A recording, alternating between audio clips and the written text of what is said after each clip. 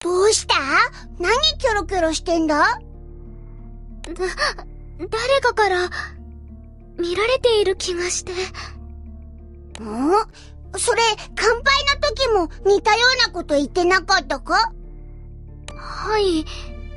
ここに来てから時々そういう気配を感じるんです。うーん。でも、ここには青少獣はいないって、よろずやのやつも言ってたし。なあ、やっぱり勘違いなんじゃねえのか？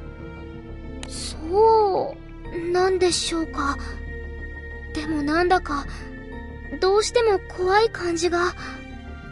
気のせいだって、ここ最近、青少獣と関わることが多くて、疲れてんじゃねえのか？